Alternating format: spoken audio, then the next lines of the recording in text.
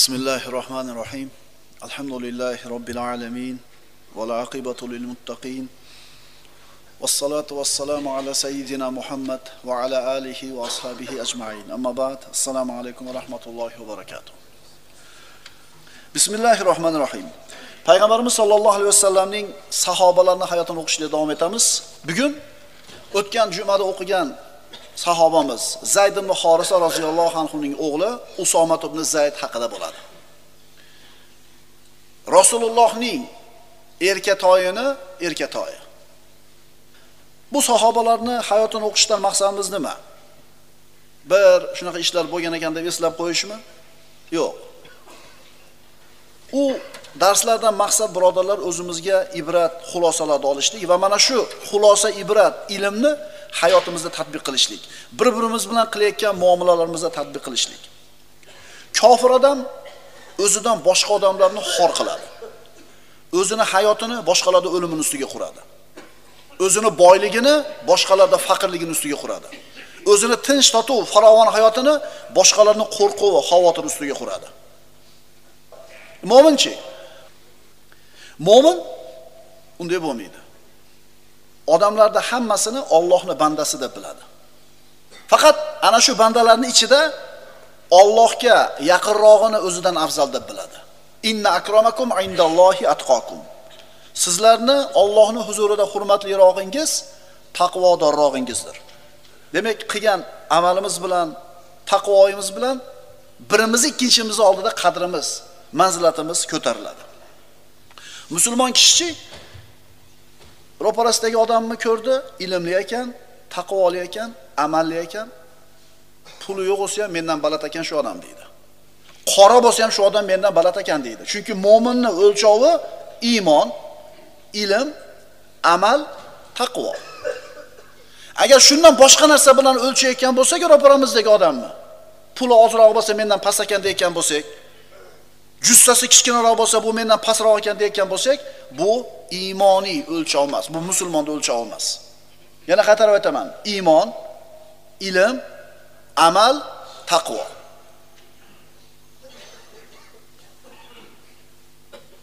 Ummu ayman kim edi?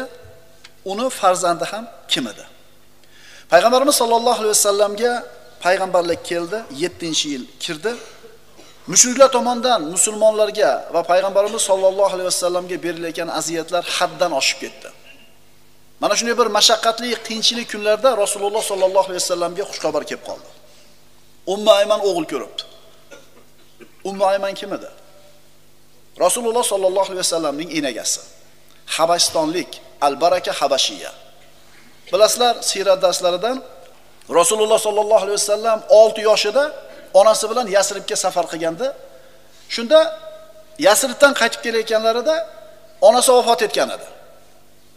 Ular bilan birga mana shu baraka habashiya ham birga chiqqan va rasulullohni makkaga olib kelib makkaga olib kelib bobosi abdul muttolibga topshirgan mana shu al baraka habashiya bo'ladi. Habasistonlik cho'ri qiz. Mana endi ana shu umma ayman o'g'il ko'ribdi. Umma ayman payg'ambarimiz sollallohu alayhi vasallamni xizmatida turgan va payg'ambarimiz bu umma aymanni qora bo'lsa ham qul bo'lsa ham qadrlardilar. Aytadilarki hurmat qilib u umma ayman onamdan keyingi onam u ahli baytimdan qolgani derdilar. Muhammad alayhissalom qurayshdan abdul muttolib urug'idan qurayshni eng ulug' sayidlaridan bo'lgan kishi habasistondan kelgan qora qulni onamdan keyingi onam ahli baytimdan qolgani deyaptilar. Ana birodarlar o'lchov qanaqa bo'ladi. Agar siz bilan biz falon urug'danman boy oiladanman bunaqa saqofatliman deb o'zimizni mana shu narsalar bilan boshqalardan ustun sanayotgan bo'lsak demak iymoniy o'lchovdan hali uzoq ekanmiz.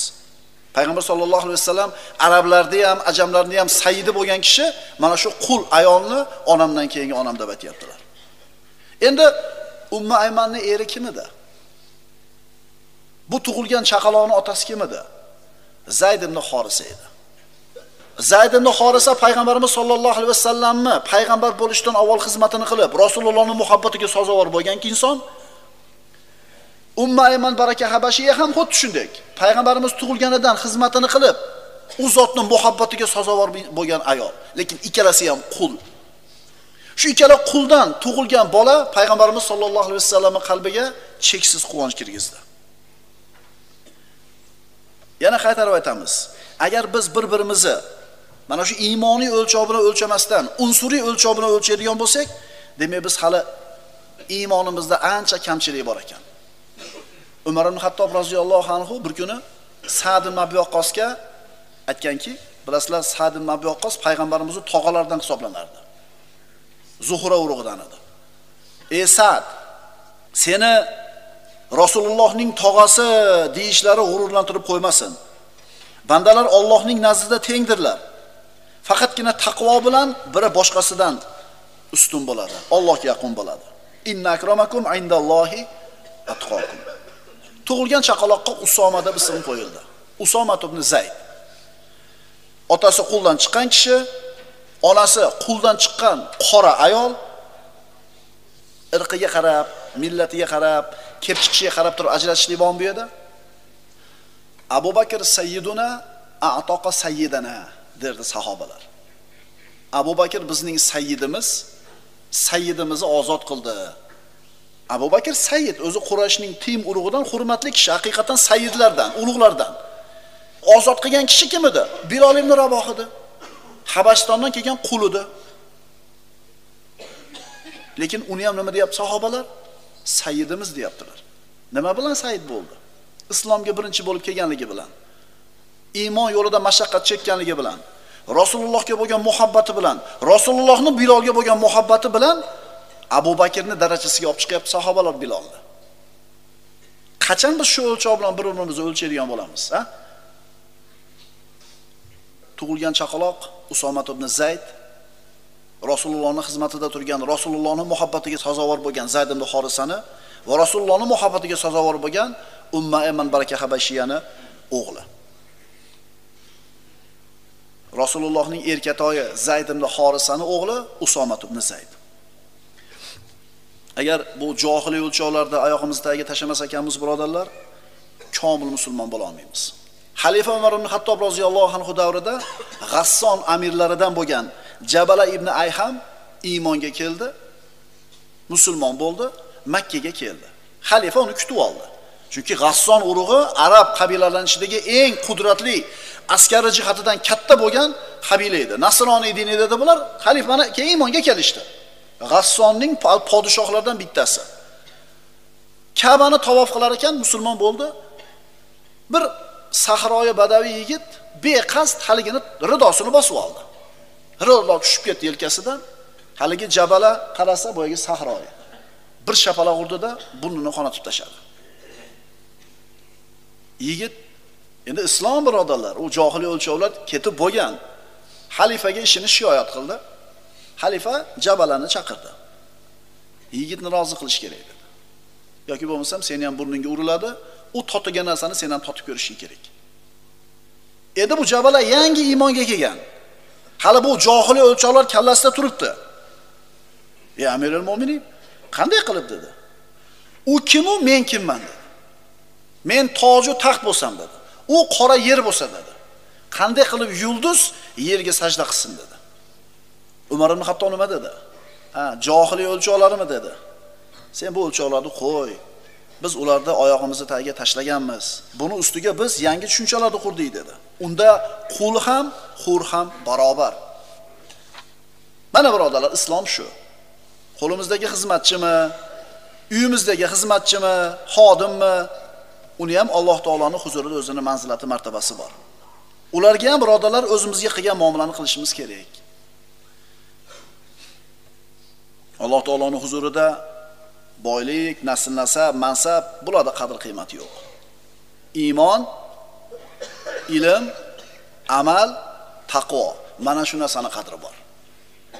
Yarfaillahu allazina amanu minkum vallazina utul ilma darajat vallohu bima ta'maluna xabir mana alloh taolo kimi kimdan nima bilan ko'tarishini xabarini beryapti?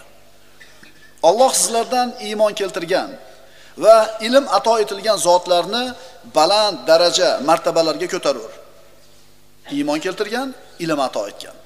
Alloh qilayotgan amallaringizdan xabardordir. Albatta usomat ibn Zayd roziyallohu anhuni tug'ilishligi payg'ambarimiz sollallohu alayhi vasallamning qalbiga, sahobalarning qalbiga xursandchilik, quvonch keltirdi. Va payg'ambarimiz sollallohu alayhi vasallamning uyida iymoniy ruh bilan tarbiyalandi. Alloh azza va jalladan izn bo'ldi, musulmonlar Makka dan Madinaga hijrat qilishadigan bo'ldi. Qodir bo'lgan hijrat qildi. Oxirgi bo'lib payg'ambarimiz sollallohu alayhi vasallam hijrat qildilar. Zayd ibn Xorisa ham hijrat qildi. Lekin oilasi bilan ketishlik imkoniyati bo'lmadi. Avval sahobalar o'zlari ketishdi. Mana xususan payg'ambarimiz sollallohu alayhi vasallam va Zayd ibn Xorisani oilasi ularni orqasidan keyin e, Madinaga ular ham ko'chib borishdi. Usomat ibn Zayd xuddi Makka da bo'lgani kabi Madinaga borgandan keyin payg'ambarimiz sollallohu alayhi vasallam uyida yana ana shu iymoniy ruhda e, tarbiyani oldi. Hali bu paytda tabanni oyatlar nozil bo'lmagan. Zayd ibn Xorisani Zayd ibn Muhammad deyishar edi. Tabanni oyatlardan keyin yana Zayd ibn Xorisa deb chaqirildi. Payg'ambarimiz sollallohu alayhi vasallam Usomat ibn Zaydni shunday yaxshi ko'rardiki, o'zining nabirasi Hasan ibn Ali bilan teng ko'rar edi. Qarang, tug'ilgan bu Usomat ibn Zayd otasidan ko'ra ko'proq onasiga o'xshar edi. Ya'ni qop-qora edi. Burni puchuq edi, ko'rimsiz edi. Endi Hasan roziyallohu anhu kimning o'g'li? Ali roziyallohu anhuning o'g'li, fotimai Zahroning o'g'li, Rasulullohning nabirasi. Hasan ibn Ali oppoq edi. Rasululloh sollallohu alayhi vasallamga juda o'xshab ketar edi. Rasululloh bir tizzasiga Hasanni, ikkinchi tizzasiga Usomani o'tkazib, ikkalasini bag'riga bosib aytardiki: "Allohumma ahibuhuma fa inni uhibbuhuma." Parvardigor, men bu ikkisini yaxshi ko'raman, sen ham ularni yaxshi ko'rgin. Ajratish bormi? Bu quldan chiqqan ayol, quldan chiqqan kishini qora bolasi bu Hasan ibn Ali Rasululloh ikkalasini bag'riga teng bosib, haqlarga duo qilyaptilar. Oysha onamiz aytadilar, Usomaga bo'lgan payg'ambarimizni muhabbatini tasvirlab, Nabiy sallallohu alayhi vasallam Usomaning burnini atib qo'ymoqchi bo'ldilar. Men u zotga menga qo'yib bering, o'sha ishni men qilay dedim. Payg'ambarimiz aytdilar: "Ey Oysha, unga muhabbat qilgin. Bas ta'kidlab aytamanki, men unga muhabbat qilurman" dedilar. Ya'ni yosh bolaligidan payg'ambarimizda katta bo'lgani uchun buni oqib qoladi endi yosh bolani. Payg'ambarimiz sollallohu alayhi vasallam o'zi bor aytib qo'yaptilar muborak qo'llari bilan. Aytyapmiz, bu sahobalarning hayotini o'qishlikdan maqsad o'zimizni tarbiyalash, o'zimizni mana shularni e, andozasiga solib ko'rishlik, o'zimizni bir qator tekshirib ko'rishlik. Bir kuni Usomat ibn Zayd yosh bola ekan, qoqilib tushdi, yiqilib, boshidan qon oqdi. Rasululloh sollallohu alayhi vasallam Oysha onamizga qarab qo'ying deb turib, o'zi sabr yetmasdan tezda turib borib olib, peshonasidan so'rib qonini tupurib, Usomat ibn Zaydni yupata boshladilar. Nabiy sollallohu alayhi vasallam. Rasululloh sollallohu alayhi vasallam Usoma roziyallohu anhuni o'zi yaxshi ko'rganidek, sahobalariga ham, atrofdagi insonlarga ham Usomani yaxshi ko'rishlikka buyurganlar. Buyurganlar, birodarlar. Oysha onamizdan Usomat ibn Zaydni g'azablantirish mumkin emas edi deb aytadi Oysha onamiz. Chunki men Rasululloh sollallohu alayhi vasallamning shunday deganlarini eshitganman. Man kana yuhibbulloha va rasula falyuhib Usomata. Kim Alloh va Rasulini yaxshi ko'rsa, bas Usomani yaxshi ko'rsin. Rasululloh buyuryaptilar. Usomani yaxshi ko'rishlikka. usomat ibn Zayd roziyallohu anhuni uzugini ustiga hibbu Rasulillah, Rasulullohning erkatoyi deb naqsh qo'yib qo'yilgan edi. Unvonda qarang. Rasulullohning erkatoyi. Rangi qanaqa ekan? Otasi kim bo'lgan ekan? Onasi kim bo'lgan ekan? Lekin kim bo'lgan ekan? Rasulullohning erkatoyi. Rasulullohni Usomat ibn Zaydga bo'lgan muhabbati bu xo'ja ko'rsinga, odamlarning ko'ziga bo'lgan muhabbat emas edi. Haqiqiy muhabbat edi. Bu odamlar buni ko'radimi, biladimi farqi yo'q. Bu muhabbat payg'ambarimiz Usomaga bo'lgan muhabbati. Hozirgi kunimizdagi ayrim kishilarning muhabbatiga o'xshamaydi. Bir maqsadiga yetib olishlik uchun odamlarga mehrli, muhabbatli qilib o'zini ko'rsatadi. A bu yaxshi odam ekan degan gap uchun muhabbat ko'rsatadi maqsadiga yetgandan keyin boyagi odamlar oldiga borsa qaramaydi ham eshigini ham ochmaydi tanimaydi ham rasulullohni muhabbati chin muhabbat edi muorrixlar usomat ibn zaydni zakovatli hushyor shijoatli hakim kishi edi deb aytishadi. Dunyoga berilmagan odamlarga ulfat bo'ladigan taqvodor kishi. Odamlarga ulfat bo'ladigan taqvodor kishi. Ba'zida shunaqa odamlarni ko'rib qolasiz. Hushyor aqlli ziyrak odamlar uni yaxshi ko'rishadi. Lekin Alloh yaxshi ko'rmaydi buni. Chunki odamlar ko'ziga shunaqa lekin qalbida yaxshilik yo'q. Bu odam munofiq bo'ladi. Yana shu odamlar bor Alloh bilan aloqasi yaxshi taqvodor bo'ladi-yu muomalasi yo'q bo'ladi. Qo'rs bo'ladi sovuq bo'ladi. Bu odam ham yaxshi odam emas. Haqiqiy komil musulmon qanaqa? Uni Alloh ham yaxshi ko'radi odamlar ham yaxshi ko'radi. Odamlar tashqi turq tarovatiga fe'l atvoriga odamlarga qilayotgan muomalasiga yaxshi ko'raveradi Alloh uni ichidagi narsasi yaxshi bo'lgani uchun yaxshi ko'radi. Mana usomat ibn zayd roziyallohu anhuni rasulullohning g'azotlarida qatnashligi haqida. Uhudda rasulullohning uyida katta bo'lganligi rasululloh yaxshi ko'rganligi rasululloh erkalatganligi usomat ibn zaydni taltaytirib yubormagan edi. O'zidagi mas'uliyatni o'zida mas'uliyatni his qilgan inson bo'lib tarbiya topdi. Uhud g'azotiga payg'ambarimiz sollallohu alayhi vasallam sahobalar bilan chiqib ketar ekanlar bir to'p yosh bolalar kelib biz ham chiqamiz deb turib olishdi. Bular usomat ibn zayd baro ibn ozib zayd ibn arqam zayd ibn sobit. Ammo bularni e, yoshi kichkina bo'lganligi uchun rasululloh qaytarib yubordilar. Usomat ibn zayd yig'lab qaytib ketdi. Chunki rasululloh sollallohu alayhi vasallam bilan birga chiqishlikka imkon bo'lmadi. Handaq g'azotida hijratni beshinchi yilida mushriklar musulmonlarni ishini bir yo'la yo'q qilishlik uchun qabilalar jamlanib 10 ming kishilik qo'shin to'plab keldi. Handaq g'azoti. Musulmonlar madinani himoyalashlikka handaq qazishlikka majbur bo'lishdi. Handaq qazib shu bilan himoyalanishdi. Mana shu paytda yana bir qancha yosh musulmon yigitchalar o'zlarini rasululloh bilan chiqmoqchi bo'lganligini aytishdi. Payg'ambarimiz sallallohu alayhi vasallam mana shu yosh bolalarni yaraydiganini tanlab olishlik uchun safga tizib qo'yib ko'zdan kechirayotganida usomat ibn zayd oyog'ini uchiga turib olardi. Balandroq ko'rinay deb. Rasululloh sollallohu alayhi vasallam kezi kelganida usomat ibn zaydga bir umrga tatiydigan tanbeh dars berar edi. Vaqti vaqti bilan erkalatganidek vaqti vaqti bilan koyib ham turar edi. Usomat ibn zayd musulmonlarni qo'shini bilan bir mushrik qavmga qarshi jang qilgani chiqdi. Rasululloh chiqarganlar amir ikkita kishi bir biriga sherik bo'lib olsin jangga kirganda ham chiqqanda ham bir birini kuzatib turishlik uchun. Musulmonlar mushuklarga hujum qilishdi g'alaba qilishdi endi qaytishyapti. Usomat ibn zaydni hayotida bo'lgan muhim voqealardan va siz bilan biz uchun juda bir katta ibrat darslarni beradigan voqea. Usomat ibn zaydni sheriga ansorlardan bittasi. Musulmonlar g'olib bo'lishdi mushriklar oldidan qaytishdi endi qo'shinni orqasida usoma bilan sherigi ketyapti. Anavi mag'lub bo'lgan mushriklardan bittasi mushrik qavmidan bitta kishi ularni orqasidan erchib oldida ularni eshitadiganchalik masofa orqasida turib musulmonlarni islomni va payg'ambarimizni haqorat qilishni boshladi. Qo'shni orqasida usoma bilan ansoriy. Usoma zayd payg'ambarimizni masxara qilganiga chidamasdan quvib ketdi. Haligi mushrik qochib ketdi. Yetolmadi qaytib keldi yana usoma. Ansoriy aytdi tek qo'y uni o'zini holiga. Usoma aytdi nimaga tek qo'yaman ekan? Axir u rasulullohni masxara qilayotganini ko'rmayapsanmi dedi. Haligi mushrik ishidan to'xtamasdan yana qaytib keldi yana boyagi ishini davom etkazdi xullas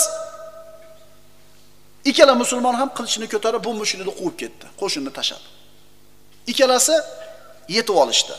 Bir daraxtni tagiga yetganida mushrik yetishdida ansoriy qilichini ko'tardi usoma ham qilichini ko'tardi.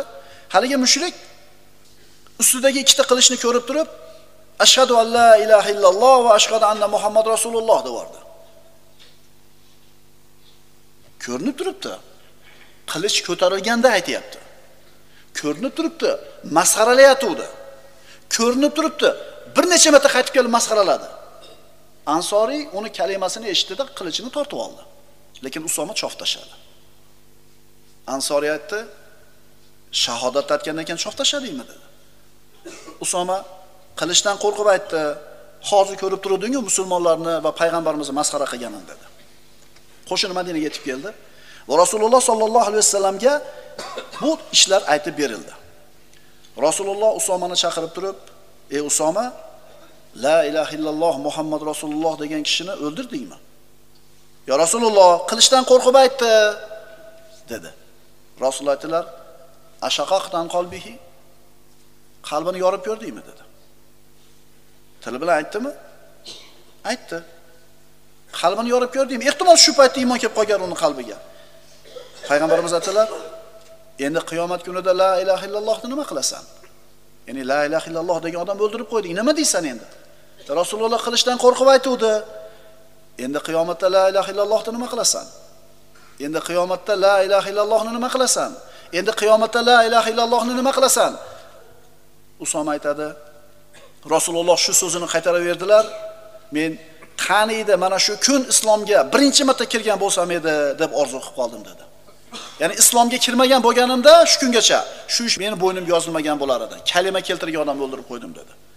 Chunki islom avvalgi gunohlarni yuvib yuborardi. Ibn iso rivoyat aytadi ibn isoqning rivoyati keltiriladi. Ey usoma dedilar rasululloh la ilaha illallohdan keyin senga kim shafoat beradi? La ilaha illalloh degan odamni o'ldirganingdan keyin kim seni shafotiga oladi? Allohga ahd berib aytamanki dedi Usoma endi hech ham la ilaha illallohni aytgan odamni qatl qilmayman dedi. Rasulullohga va'da berdi. Mendan keyin hamma dedilar Rasululloh sizdan keyin ham dedi Usoma. Shuning uchun Usoma ibn Zayd keyingi bo'lgan fitna ishlarda bittasida qatnashmagan edi. Aytar edi men alini roziyallohu anhu haqligini bilaman lekin la ilaha illalloh degan odamga qaytib qilich ko'tarmayman deb rasulullohga va'da berganman der edi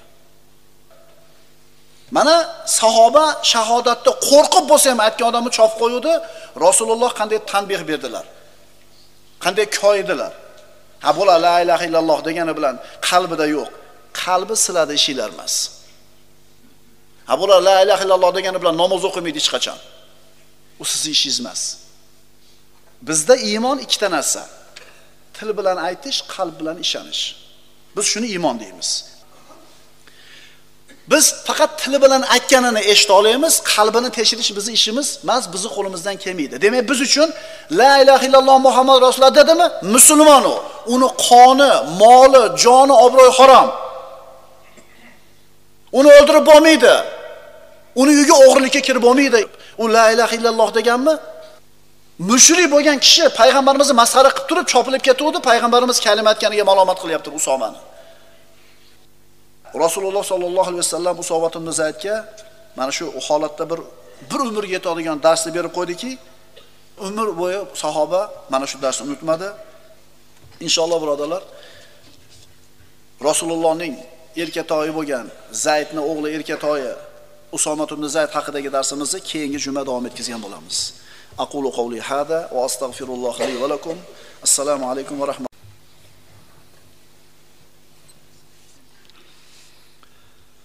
بسم الله الرحمن الرحيم الحمد لله رب العالمين والصلاة والسلام على سيدنا محمد الصادق الوعد الأمين اللهم لا علم لنا إلا ما علمتنا إنك أنت العليم الحكيم اللهم علمنا ما ينفعنا وانفعنا بما علمتنا وزدنا علما اللهم أرنا الحق حقا وارزقنا اتباعه وأرنا الباطل باطلا وارزقنا اجتنابه واجعلنا ممن يستمعون القول فيتبعون أحسنه وادخلنا برحمتك في عبادك الصالحين أما بعد السلام عليكم ورحمة الله وبركاته بسم الله الرحمن الرحيم payg'ambarimiz sollallohu alayhi vasallamning sahobalarini hayotini o'rganishlikdagi navbatdagi darsimiz. Bugun 16 dars. Zayd ibn horisaning o'g'li usomat ibn zayd. Bugun ikkinchi qismi. Usomat ibn zayd roziyallohu anhu. Rasululloh sollallohu alayhi vasallam bu sahobasini qattiq yaxshi ko'rgan deb aytdik. Otasi zayd ibn horisa quldan chiqqan. Onasi umma ayman baraka habashiya cho'ridan quldan chiqqan. Ikkita qulni bolasi. Rasululloh sollallohu alayhi vasallam juda ham qattiq yaxshi ko'rganlar. Qora, burni puchuq, shu quyib qo'ygan Habash. Ammo payg'ambarimiz shunday yaxshi ko'rgan bu sahobasini. Mana aytdik, bir tizzasiga Hasan ibn Alini, ikkinchi tizzasiga Rasululloh Usomat ibn Zaydni qo'yib, ikkalasini yaxshi ko'rib, bag'riga bosib, erkalatib aytardilarki Parvardigor, men bu ikkisini yaxshi ko'raman, sen ham yaxshi ko'rgin derdilar. Usomat ibn Zayd payg'ambarimiz sollallohu alayhi vasallamning erkatoyi edi. Erkatoyi edi. Lekin bu erkatoy bo'lishligi talta etirib yubormagan edi. Rasululloh Usomani qanchalar yaxshi ko'rgan bo'lsa, o'rni kelganda birodarlar xato sodir bo'lsa, tarbiyalagan, koyiganlar. Ana shu nabaviy darslardan yana biri Imom Buxoriydan keltiriladi, Mus'ab ibn Umayrdan. Qurayshning mahzum urug'idan bo'lgan bir ayol o'g'irlik qildi. Uni qo'lini kesishlik kerak, shariat hukmi bo'yicha. Endi Banu Mahzum urug'i kuchli, quvvatli, boy urug'lardan edi. Shu ayolni qo'lini kesishlikni o'rniga 100 ta tuyani bir bersak jarimasiga, qo'li kesilmasa, endi Allohning hududini, Alloh taolaning jazosini qilmaslik haqida Rasulullohga borib kimdir gapirish kerak. Kim gapiradi endi buni jur'at qilib? Abu Bakrmi? Umarmi roziyallohu anhu? Yo'q. Usomat ibn Zayd gapiradi deyishdi. Shundan ham bilsak bo'ladiki, Usomat ibn Zayd boshqalar ayta olmaydigan, boshqalar gapira olmaydigan gaplarni ham Rasulullohga borib jur'at qilib gapira olgan. Ya'ni bu Rasulullohga yaqinligidan edi albatta. Bas Usoma Rasulullohga mana shu narsa haqida gapirganida Rasulullohning g'azablari kelib, Allohning hadlaridan birida shafochilik qilasanmi? dedilarda turib odamlarga xutba qildilar. Amma ba'd fa inna ma ahlaka nasa qablakum annahum kanu idha saraqa fihim sharifun tarakuh va idha saraqa fihim ad-da'if aqamu alayhi al-hadd. Sizlardan avvalgi ummatlarni halok qilgan narsa nima edi? Shunday narsa ediki, ishlarida sharif bo'lgan, hurmatli bo'lgan kishi xato ish qilsa, gunoh qilsa, jazo qo'llashmas edi, ammo zaif bechoralar xato ish qilsa, jazo qo'llashar edi. Allohga qasam, agar Fotima binti Muhammad o'g'illik qilsa, qo'lini kesaman dedilar Rasululloh sollallohu alayhi vasallam. Ya'ni Allohning hududida o'rtaga tushmadi deb turib payg'ambarimiz u kishini malomat qildi. Zayd ibn Horisani o'g'li usomat ibn Zayd. Usoma roziyallohu anhu payg'ambarimizning ahli baytidan edi. Mana aytdik, ud'uhum li abaihim oyati tushdi. Boqvagan bolalaringlarni o'zlarini otalarini ismi bilan chaqiringlar degan oyat. Shundan keyin Zayd ibn Muhammad emas, Zayd ibn Horisa deyildi, otasi Zayd. usomat ibn Zayd payg'ambarimizga nabira o'rni deydi. Hammalarga ma'lum hodisatul ifk, bo'xton hodisasi bo'lgan. Oysha onamiz roziyallohu anhoni faxshda aybladi munofiqlar. Shunda e, gap ko'payib ketib ko'chada payg'ambarimiz sollallohu alayhi vasallam bundan aziyat chekib sahobalarga avval maslahat qildilar. Keyin o'zini ahli bayti bilan maslahat qilganlar. Ali ibn Abi Talib va Usomat ibn Zayd. Usomat ibn Zayd yosh bola. Usomat ibn Zaydni payg'ambarimizga aytgan maslahati shunday bo'ldiki, "Ya Rasululloh, ular sizni oilangiz, Allohga qasamki, Allohga qasamki, ular haqida faqat yaxshilikni bilamiz xolos dedi. Albatta bu ham Usomat ibn Zaydni fazilatiga fazilat qo'shadi. Yosh bola bo'lsa ham payg'ambarimiz maslahat so'rayaptilar. Va undan tashqari Usomat ibn Zaydni bergan maslahati to'g'ri to'g'ri edi. Haqiqat yaqin edi. Makka fathi. Alloh azza va jalla payg'ambarimiz sollallohu alayhi vasallamga Hudaybiyada va'da qilgan fathni berdi. Payg'ambarimiz sollallohu alayhi vasallam Makka ga endi mana hijratning 8-yilida 21 yil Quraysh bilan bo'lgan kurashdan keyin 21 yildan keyin payg'ambarimiz Makkani fath qilib kirdilar. Ana shu ulug' kunda ham usomat ibn Zayd payg'ambarimiz sollallohu alayhi vasallamning uloviga uchqashib Rasulullohning orqasida o'tirib kirgan edi. Albatta bu ham sharaf. Yana buni ustiga ustak Rasululloh Ka'baga kirib namoz o'qiganlarida u zotni yonida Usmon ibn tolha Bilol ibn Raboh va Usoma ibn Zayd bor edi. Bir faraz qilib ko'ring, Makka fath bo'ldi, musulmonlarni qo'liga o'tdi. Juda bir katta xursandchilik. Rasululloh Ka'baga kirib namoz o'qiyaptilar, yonida kim bor? Usoma roziyallohu anhu. Albatta bu ham u kishining fazilatiga qo'shiladigan fazilatlardan. Hunayn kunida musulmonlar Makka fathidan keyin Hunayn g'azotiga chiqishdi. Adadlarni kattaligiga bir g'ururlanib ketib musulmonlar birinchi zarbada mag'lub bo'lishdi. Har tomonga qo'shin qochib ketdi tirqirab. Shunda u zotning oldida 100 chog'lik kishi yig'ildi va mana shu qo'shin 100 kishilik qo'shin Havozinni 20 minglik qo'shinini mag'lub qildi. Ana shu kunda Rasulullohning yonida turgan kishilardan yana bittasi Usomat ibn Zayd roziyallohu anhu edi. Mu'ta jangida. Bilasizlar, musulmonlar Mu'ta jangida 200 minglik qo'shinga qarshi 3 ming qo'shin bilan turishgan. Mana shu 3 ming kishilik qo'shinga payg'ambarimiz sollallohu alayhi vasallam amir qilib, Usomaning otasi Zayd ibn Horisani amir qilgan. Aytgandilarki, agar Zaydga biror kor hol bo'lsa, Ja'far ibn Abi Talib amir bo'ladi. Agar Ja'farga ham biror kor hol bo'lsa, Abdulloh ibn Abi Ravoha amir bo'ladi. Agar unga ham bir narsa bo'lsa, musulmonlar o'zlari tayinlab oladi amirni. Birinchi amir bo'lgan Zayd ibn Horisa mana shu dushmanlar bilan bo'lgan mana shu jangda shahid bo'ldi. Otasini shahid bo'lganligini ko'rdi. Mana shu jangga borgan edi Usoma. Lekin shashti pasaymadi otasini o'lganini ko'rib. Avval Ja'far ibn Abi Talib bayrog'i ostida, keyin Abdulloh ibn Abi Ravoha bayrog'i ostida, keyinchalik esa Xolid ibn Valid bayrog'i ostida jangda davom ettirdi. Albatta e, farzandlaringiz ichida qaysinisinidir ko'proq yaxshi ko'rasiz. Bu tabiatda bor narsa. Hammasi ham o'zingizni bolangiz. Kimdir kattasini yaxshi ko'radi, kimdir kichkinasini. Lekin o'zizni bolangiz hammasi. Payg'ambarimiz aytganlar, ahlim ichida menga eng mahbubi Usoma. Meni ahlim ichida, mana shu oilam ichida menga eng mahbubi Usoma. Rasulullohni doim yonida bo'lganligini o'zi safarda ham, hazarda ham Usomani haqiqatdan payg'ambarimiz yaxshi ko'rganligini belgisi. Hech qachon yaxshi ko'rmagan odamingizni yoningizda turgizmaysiz, to'g'rimi? Usoma roziyallohu anhudan rivoyat qilinadi Imom Termiziydan. U kishi aytadi, bir kun Rasululloh sollallohu alayhi vasallamning huzurida turganimda Ali va Abbos roziyallohu anhumolar u zotni huzuriga kirishga ruxsat so'rashdi. Men Rasulullohga aytdim, Ali va Abbos roziyallohu anhu kirgani ruxsat so'rashyapti. Payg'ambarimiz Usomaga nimaga kelganini bilasizmi dedilar. Yo'q, men bilmayman dedi Usoma. Ammo Rasululloh aytdilar, ammo men bilaman. Rasululloh ruxsat berdilar, ular kirishdi. Kirib aytishdiki, "Ya Rasululloh, huzuringizga ahli baytingizdan qay biri sizga eng mahbub ekanini so'ragani keldik."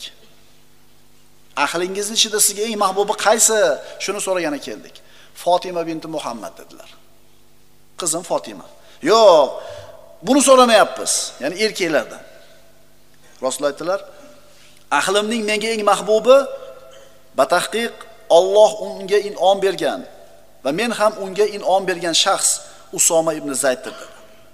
Ali ibn Abi Talibdan muqaddam qo'yaptilar. Undan keyin kim? Deb so'rashuvdi. Ali dedilar rasululloh. Shunda abbos aytdiki ya rasululloh amakingizni oxiriga qo'ydingizmi? Ya'ni abbos ibn abdul mutolib payg'ambarimiz amakisi. Meni oxiriga qo'ydingizmi amakingiz bo'lsam ham deganida rasululloh aytdilarki chunki ali hijrati bilan sizdan o'zib ketgan edi. Bilasizlar makka fathida payg'ambarimiz sollallohu alayhi vasallam ketayotganida oxirgi hijrat qilgan kishi abbos ibn abdul muttolib edi. Alidan abbosdan kim ustun qo'yyapti payg'ambarimiz muhabbat borasida? Usomat ibn Zayd. Uylanish. Oila qurmoqchi bo'lgan kishilar ahli fazil bo'lgan, ilmli kishilardan maslahat so'rashliklari yaxshi ekanligini tushunib olamiz mana shu aytadigan narsamizdan. Imom Muslim keltirgan rivoyatda Fatima binti Qays ismli ayol roziyallohu anha bu ayolga birdaniga 3 ta sovchi keldi. 3 kishidan sovchi keldi. Abu Jahm ibn Huzoma muoviya va Usomat ibn Zayd. Fatima binti Qays payg'ambarimiz sollallohu alayhi vasallam oldiga kelib maslahat so'radi. Rasululloh aytdilar: Abu Jahm asosini yelkasidan tushirmaydi. Nima degani u? Xotinni ko'p uradigan bo'ladi. Abu Jahm asosini yelkasidan tushirmaydi. muoviya kambag'al, moli yo'q. Siz Usomat ibn Zaydga teging dedi. Fatima binti Qays Qurayshning ulug'laridan birini qizi bo'lishiga qaramasdan Rasulullohning maslahati bilan otasi ham onasi ham qul bo'lgan, o'zi qora bo'lgan Usomat ibn Zaydga turmushga chiqdi.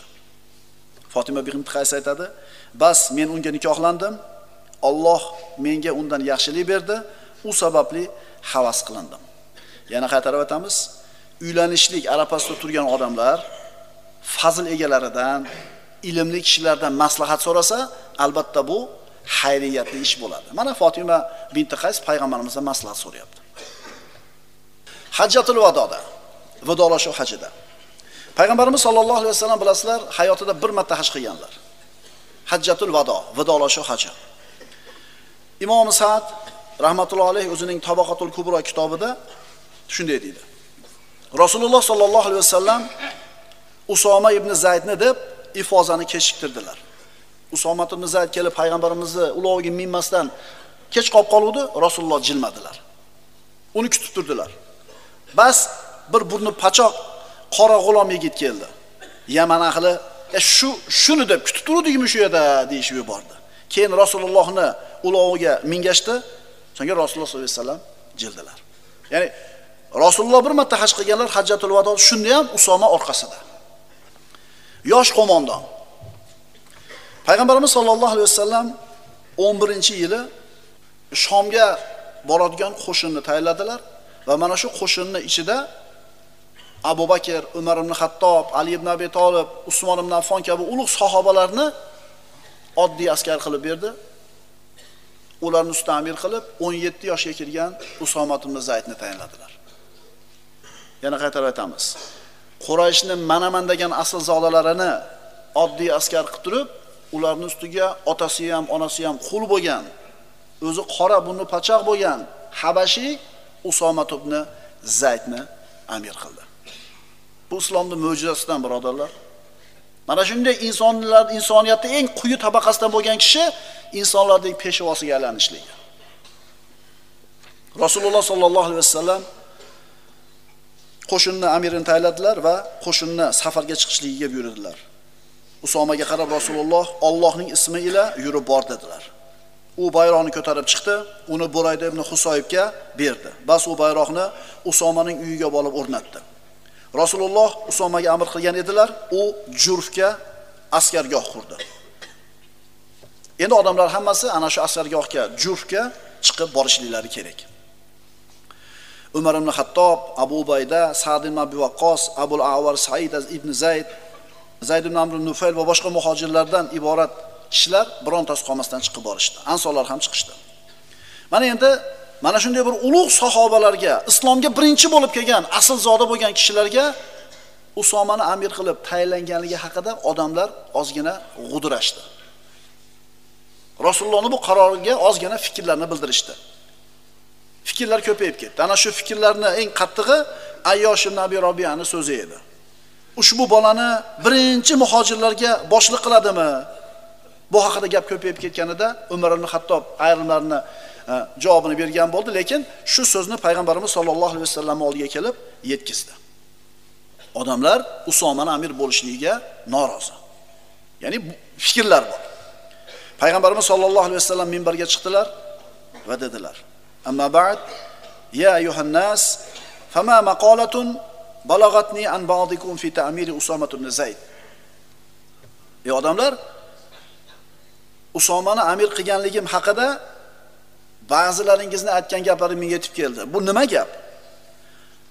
Allohga qasam usomani amirligini ta'na qilayotgan bo'lsanglar undan avval zaydni amir qilganimda ham ta'na qilgan edinglar allohga qasamki u amirlikka loyiq. U odamlarning menga eng mahbublaridan. Otasi ham o'zi ham ikkalovi ham barcha yaxshilikka loyiqdirlar. Unga yaxshilik qilinglar chunki u sizlarning yaxshilaringizdan. Rasululloh buyurdilar usomani yurishini amalga oshiringlar. Rasululloh sollallohu alayhi vasallam mana shu paytda ana shu keyinchalik shu kasali tufayli vafot etdilar mana shu o'lim kasaliga chalindilar. Umma ayman kirib aytdiki yo rasululloh tuzalib olguningizcha usoma ketmay tursin. Agar usoma siz mana shunday holatda turganingizda chiqib ketsa ko'ngli notinch ketadi. Rasululloh esa aytdilar usomani yurishini amalga oshiringlar odamlar chiqib ketishdi. Rasululloh sollallohu alayhi vasallam kasallari og'ir bo'lganida usoma madinaga qaytib kirdi. Aytadi rasululloh sollallohu alayhi vasallam oldiga qaytdim u zot gapirmas edilar.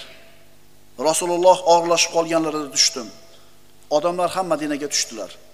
Men u zotning oldilariga kirdim. Bas jim bo'lib qolgan ekanlar. Gapirmadilar. Rasululloh qo'llarini ustimga qo'yib ko'tara boshladilar. Men u zot meni duo qilayotganligini bildim. Payg'ambarimiz sollallohu alayhi vasallam usomani qo'shinni chiqishlikka buyurdi. Va rasulullohni bilasizlar mana Usoma ibn zaydni buyurgan ishi oxirgisi bu usomani qo'shini tashqariga chiqishligi edi. Rasululloh sollallohu alayhi vasallam usoma jurfda uloviga minmoqchi bo'lib turganida rasululloh sollallohu alayhi vasallamni vafot etganligi xabari keldi. Madinaga qaytib kirdi va u zotni yuvishda kafanlashda ishtirok etdi. Musulmonlar endi rasulullohni dafniga tayyorgarlik ko'radi. U zotni ali ibn abi tolib fazl ibn abbos va usomat ibn zaydlar yuvishdi. Yuvib bo'lganlaridan keyin ali aytdi roziyallohu anhu kishiga aqrabolari vali bo'lishadi eng yaqin kishilari ali roziyallohu anhu payg'ambarimizning amakivachchasi rasulullohning uyida o'sgan rasulullohning kuyov bolasi.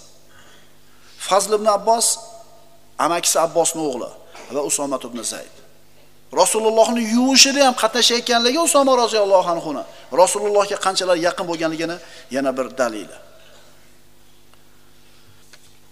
Abu bakr siddiq rasululloh sollallohu alayhi vasallamning vafotidan keyin xalifa bo'ldi. Va u kishini xalifa bo'lgandan keyingi birinchi qilgan ishi usomaning qo'shinini chiqarishlik bo'ldi. 17-18 yasharli yosh yigitcha. Imom ibn hajar asqaloniy o'zlarining fathul boriy nomli kitobida keltiradilar. Rasululloh sollallohu alayhi vasallamning vafotlari haqidagi xabar arablarga yetib murtadlar ko'paydi. Rasululloh vafot etgandan keyin deyarli hamma arab qabilalari dindan qaytib ketdi.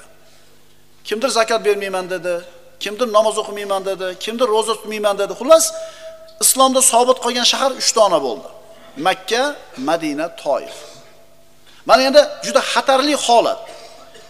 Sahobalarni eng ulug'lari bu qo'shinni ichida va asosiy qo'shin ham musulmonlarniki. Mana shu agar chiqib ketsa dindan qaytgan murtad arablar madinaga hujum qilishlik ehtimoli bor edi. Sahobalar abu bakr siddiq roziyallohu anhuni mana shu qo'shinni tashqariga chiqarmay turishligini so'ranishdi. Ya'ni qo'shin madinada qolsin mabodo hujum bo'ladigan bo'lsa bu qo'shin bizga kerak bo'ladi. Kibor sahobalar? Mana shu fikr bilan mana shu maslahat bilan abu bakr siddiq roziyallohu anhuni huzuriga kirishdi. Aytishdiki ey rasulullohning xalifasi arablar har tarafdan buzilishdi albatta siz mana bu yoyilgan lashkar bilan biror narsa qila olmaysiz. Siz ularni ridda ahllari uchun tayyorlab qo'ying. Bular bilan ularni kekirtagidan olasiz dedi. Abu bakr siddiq roziyallohu anhu aytdilarki g'azablanib nafsim qo'lida bo'lgan zot ila qasamki agar meni madinada yirtqichlar yeb ketishi aniq bo'lsa ham qo'shinni yuboraman. Bundan boshqa ishni qilmayman. Buyuringlar usomani qo'shini chiqsin degan edi rasululloh. Lekin bitta gap bor. Usomani o'ziga aytaman. Ya'ni umarni bizni huzurimizda qoldirib ketishini so'rayman. Chunki umarga bizni hojatimiz bor. Qarang xalifa 17 yashar qora boladan so'rayapti qo'l ostingizdagi umar ibn hattobni bizga qo'yib keting. Agar rozi bo'ladigan bo'lsangiz. Musulmonlar tushunishdi. Qo'shin chiqib ketar ekan. Yana bitta taklif bilan kirishdi. Modomiki qo'shin chiqar ekan endi buni ustiga 17 yashar bolani qo'ymasdan yosh kattaroq sohibani qo'ymaysizmi? Bu gapni sahobalarda bu gapini umar ibn hattob olib kelgan edi. Abu bakr siddiq bu so'zni eshitdi sapchib turib soqolini ushlab tortib aytdiki onang seni yo'qotib qo'ysin ey Hattobning o'g'li. Rasululloh tayinlagan kishini amirligidan oldingsanmi dedi. Vallohi hech qachon bunday bo'lmaydi. Johiliyatda jabbor bo'lgan umar islomda xor bo'ladimi? dedi. Endi bu albatta umar ibn hattobni o'zini fikri emas edi sahobalarning fikri edi. Umar ibn hattob eshitadigan eshitib tashqariga chiqqanida boyagi xalifani oldiga kirgizgan boyagi sahobalar nima bo'ldi? Nima bo'ldi? deyishuvdi onalaring yo'qotib qo'ysin senlar. Rasulullohni xalifasidan eshitadigan eshitdim dedi.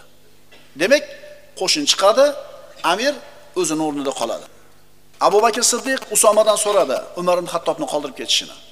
U rozi bo'ldi. Chin ko'ngildan rozi bo'ldingizmi? dedi. Ha dedi. Keyin usomat ibn zaydni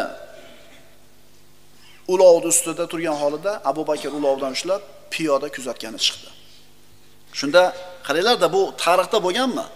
17 yashar bolani amir bo'lishi va davlatni birinchi kishisi rahbari piyoda uni otini ushlab yoki tuyasini ushlab yurishligi. Usomat ibn Zayd o'zini noqulay his qilib aytadiki, "Yo, siz minib oling, yo men yerga tushay" dedi. Abu Bakr aytdi, "Allohga qasam, sen tushmaysan, men minmayman. Allohning yo'lida ozgina oyoqlarim chang bo'lsa nima bo'pti?" dedi. So'ngra Abu Bakr Usomaga o'zini vasiyatlarini qildi. Mana Usoma ibn Zayd chiqdi. 40 kunda Rasululloh unga buyurgan ishlarni chiroyli suratda ado qilib, g'animalar bilan qaytib keldi. Qaytib kelar ekan, chiqib ketar ekan, dindan qaytishni o'ylab turgan ayrim arab qabilalari, ha, payg'ambarning vafotidan keyin ham shunaqa qo'shin chiqarish oladimi? Demak, bo'ladi quvvat katta ekan degan fikrga borishdida, dindan qaytish fikridan qaytib qolishdi birodarlar. Albatta bu Abu Bakr Siddiq roziyallohu anhuni tutgan to'g'ri yo'l edi. Hazrat Umar davrida. Umar ibn hattob roziyallohu anhu musulmonlarga maosh belgilardi. Abu Bakr ham maosh belgilagan edi. Abu Bakr Siddiq hammaga bir xil belgilagan edi. Ammo Umar ibn hattob islomga avval kelgan, islomda ko'p xizmat qilgan peshqadamlarga ko'proq maosh belgilardi. Va mana shu qilgan ishdan ayrim odamlar shikoyat qilib ham kelishar edi. Ana shu shikoyat qilganlardan bittasi o'zining o'g'li Abdulloh edi. Abdulloh ibn Umar roziyallohu anhu ga Imom Termiziydan bu Usomat ibn Zaydga 4000, Abdulloh ibn Umarga 3000 maosh tayinladi. Usomaga 4000, o'zini o'g'li Abdulloh ibn Umarga 3000. Ya'ni 5000, 2000 ham deyiladi. Shunda Abdulloh ibn Umar otasiga borib, nimaga Usomani mendan balat qildingiz? Uni otasini fazli Zaydni fazli. Sizni fazlingizdan baland emas. Uni o'zini fazli, meni fazlimdan baland emas. Vallohi mendan burun g'azotlarga chiqqan emas u, dedi. Umar ibn hattob aytdiki, chunki Zayd Rasulullohga seni otangdan ko'ra mahbubroq bo'lgan. Usomani o'zi Rasulullohga sendan ko'ra mahbubroq bo'lgan. Ikkalamizni yaxshi ko'rgandan ko'ra payg'ambarimiz Zayd bilan o'g'li Usomani ko'proq yaxshi ko'rgan. Bas men Rasulullohning muhabbatlarini o'z muhabbatimdan ustun qo'ydim dedilar. Ana birodarlar. Kim qadrlayapti u kishini? Umar ibn Xattob roziyallohu anhu. Hazrat Ali davrida Usomat ibn Zayd Ali roziyallohu anhuni yaxshi ko'rar edi. Hurmat qilar edi. Endi muoviyat ibn Abu Sufyon bilan Ali ibn Abi Talib o'rtasida bo'lgan ishdan keyin u kishi hech qaysi tarafga aralashgani yo'q. Garchi Ali ibn Abi Talibning haqligini bilsa ham, Ali roziyallohu anhu tarafida jang qilmadi. Chunki o'tgan darsda aytdik, la ilaha illalloh degan kishini qatl qilib qo'yganidan keyin qayta musulmonga qarshi qilish ko'tarmasligini va'dasini payg'ambarimizga bergan edi va mana shu boisdan Ali roziyallohu anhu tarafda turmadi. Ali ibn Abi Talibga odam jo'natgan edi. Agar sherni og'ziga tushsangiz, men siz bilan albatta uning og'ziga kirishga tayyorman, ammo bu ishga qatnashmayman. Bu fitnada qatnashmayman degan. ana shu paytda bo'lgan barcha ixtilof fitna janglarida birontasida Usomat ibn Zayd qatnashmadi. Usomat ibn Zayd roziyallohu anhu onasini qattiq hurmat qiladigan kishilardan edi. Usmon ibn Affon xalifalik davrida bir tup xurmoni narxi ming dirhamga yetdi. Shunda onasi ana shu xurmoni ichida bo'ladigan mazali bir e, charvisini so'raganida bir dona xurmosi bordi kesib berdi. Shunda odamlar bunday qilishingga seni nima majbur qildi? Axir bitta xurmoni narxi ming dirhamga chiqib turgan bo'lsa, Usoma javob berdi roziyallohu anhu, onam mendan o'shani so'radilar. U kishi mendan o'zim qodir bo'lgan narsamni so'rasalar, albatta beraman. Hadis rivoyat qilishligi usomat ibn Zayd o'zini otasidan, onasidan va Ummu Salama onamizdan hammasi bo'lib 128 ta hadis rivoyat qilgan. Usoma ibn Zayddan 30 ga yaqin sahoba va tobeinlar hadis rivoyat qilishgan. U kishi Usoma ibn Zayd Usmonning maqtalidan keyin fitnalardan uzoq bo'ldi. damashni g'arbidagi Mizza deb ataladigan yerda turdi, so'ngra Vodil qur'oga keldi. Keyin Madinaga keldi, Jurfda vafot etdi. Hijratning 54-yili Muaviyat ibn Abu Sufyonning xalifaligi davrida edi. Mana birodarlar, biz Usomat ibn Zaydning hayotini o'qidik. Shon sharafga to'lgan muborak hayot. Nimani xulosa olamiz? Islom qul ota va cho'ri onadan tug'ilgan bolani qandoq qilib insoniylikni oliy cho'qqilarga olib chiqqanligini ko'rdik.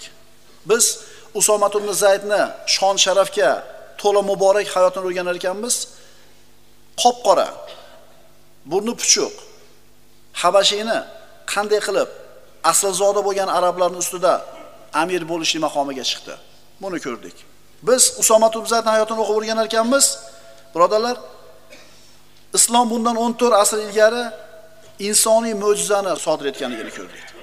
Usomat ibn Zayd roziyallohu anhu 17 ga kirib turib, shayxlarga amir bo'ldi. Islom birodarlar shayxlarga, oqsoqollarga yoshlarni g'ayratini beradi. Yoshlarga shayxlarni tajribasini, hikmatini beradi. Bu narsani biz Usomat ibn Zayd roziyallohu anhu hayotidan o'qib o'rgangan bo'ldik. Alloh subhanahu va taolo Usomat ibn Zayddan rozi bo'lsin.